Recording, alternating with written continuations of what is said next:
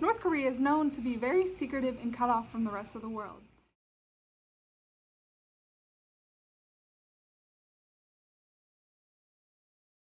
The world. It was given the nickname Hermit Kingdom. To enter North Korea, you have to sign a contract that you're not a journalist or photographer, photographer, and that you won't upload anything to the media. If you do happen to upload something to the media, you have to get approved by the North Korean government.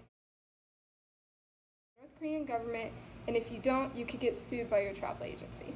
Also, on the tours in North Korea, they only show you what they want you to see, resulting in videos and reports being sugarcoated. To add on, it is illegal for foreigners to walk around without a tour guide in unauthorized areas. The North Korean government is scared that the foreigners might see something that the government does not want them to see. They do not want any bad content about them on the internet.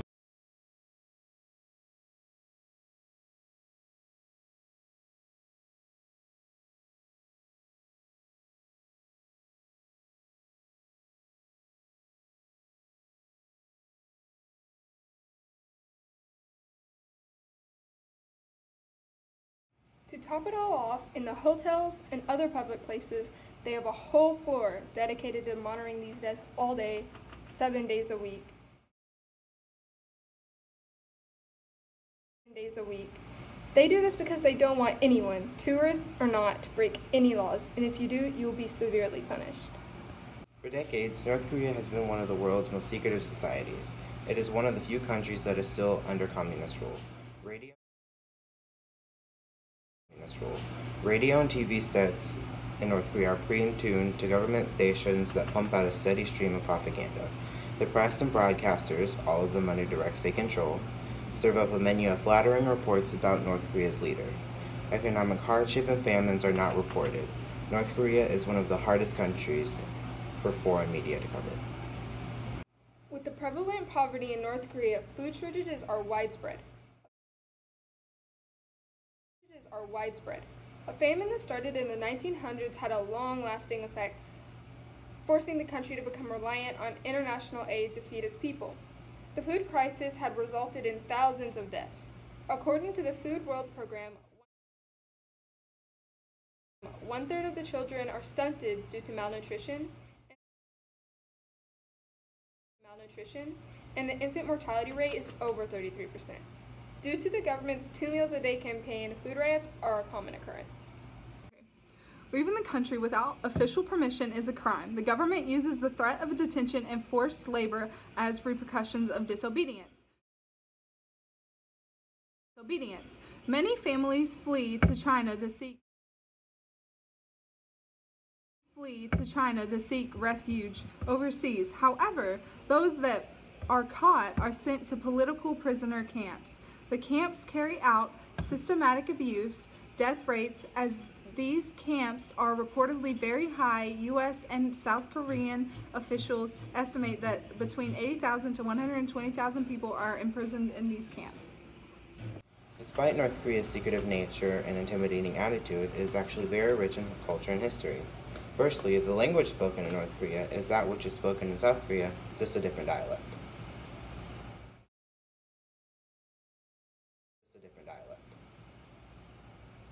This is caused by the split between the two countries, but in order to stop the Korean language from changing completely, North and South Korea agreed to keep the same grammar rules. On a different note, they also have some of the same stereotypical gender roles as other countries.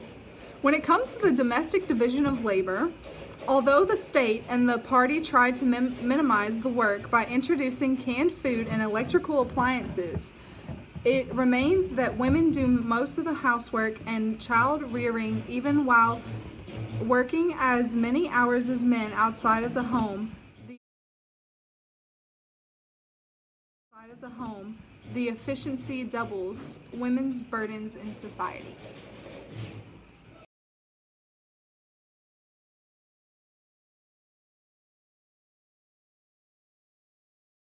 To enter North Korea, you have to sign a contract promising that you won't break any of the media laws.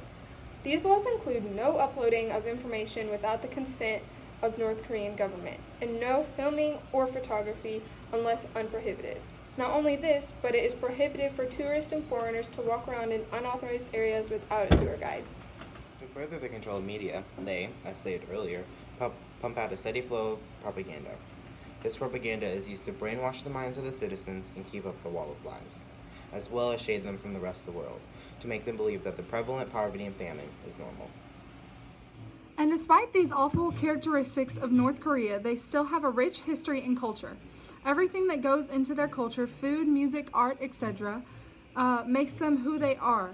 This aspect humanizes the way we look at them. Instead of seeing them as an awful country full of awful people based upon the actions of one person, Kim Jong Kim Jong un, um, we see them as humans with minds and hearts who simply were born in the wrong place at the wrong time.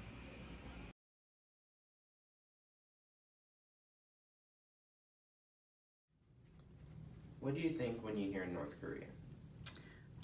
Um, my first thoughts are I think of a dictatorship. Um, I think of poverty, Korean War, hunger. Um, those are my first thoughts of North Korea. Uh, what do you think life is like in North Korea? Um, what do I think life is like in North Korea? Um, I feel like there's there's a lot of human rights abuses, um, lots of poverty, lots of hunger, um, forced detention, and um, torture. It's probably not a very nice or comfortable place to live. Okay, finally, what interests you about North Korea? What do I find interesting about North Korea? I find that the the people there must have a ton of tenacity and perseverance to live under these conditions.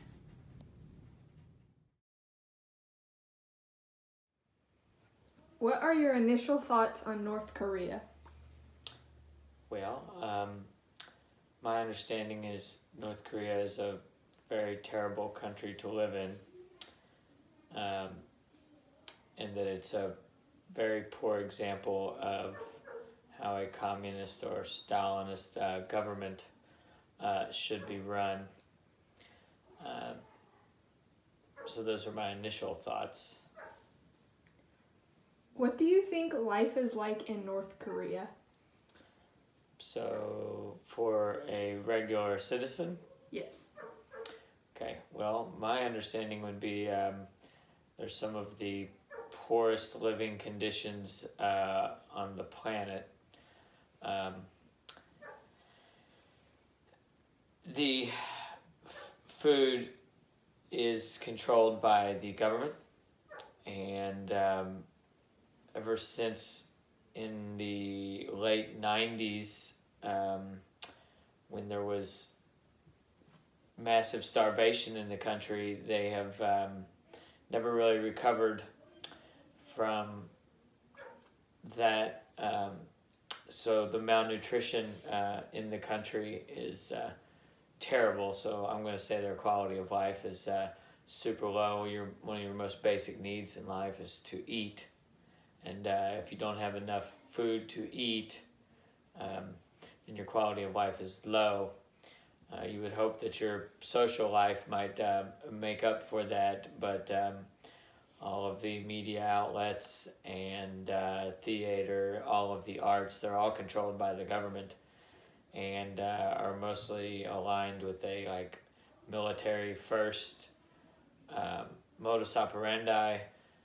So you can only make art, theater uh, that is pro government um, so basically, they're lacking all um, freedoms that we take for granted in the United States, along with uh, malnutrition. So I'm going to say um, quality of life there is terrible.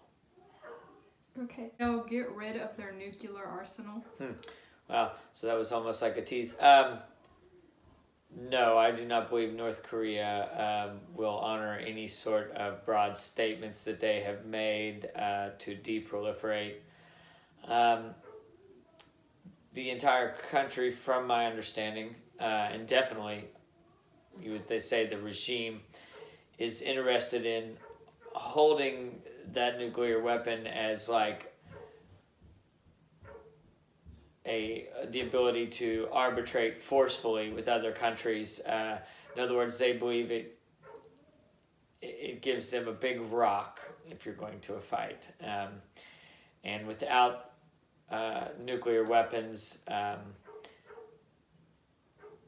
the regime, uh, I think, believes um, that they don't have a bargaining chip at the table um, due to the fact that they don't have a lot of goods or services to offer to other countries. So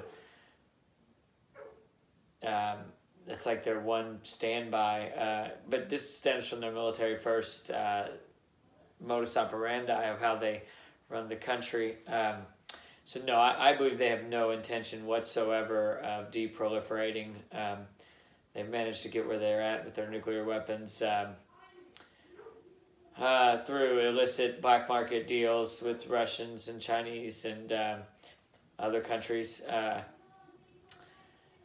I believe it's all lip service um, that they say claim they will deproliferate. Uh, I would say we should just expect a nuclear powered um, North Korea, which is terribly scary. If you can't manage to feed your people, then um, I really worry about your ability to wield a uh, nuclear weapon. Um, so that's my thought on that. Yes. Thank you for your time. Oh, no problem. North To add on, it is illegal for North. Hello. Okay.